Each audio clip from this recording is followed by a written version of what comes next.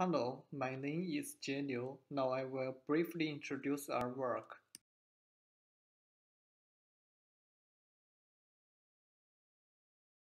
Most existing CNN-based models do not make full use of the information from the intermediate layers, so we propose the RFA module. It can aggregate features from different residual branches.